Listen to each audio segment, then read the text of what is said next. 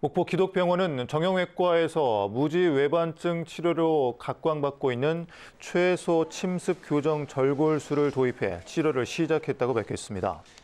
무지 외반증은 엄지발가락 관절이 튀어나오는 족부 질환으로 발의 변형으로 인한 심한 통증을 동반하는데 최소 침습 교정 절골술은 기존 수술에 비해 절개 부위가 작고 주변 조직 손상이 적어 수술 후 회복 기간도 짧은 수술법입니다.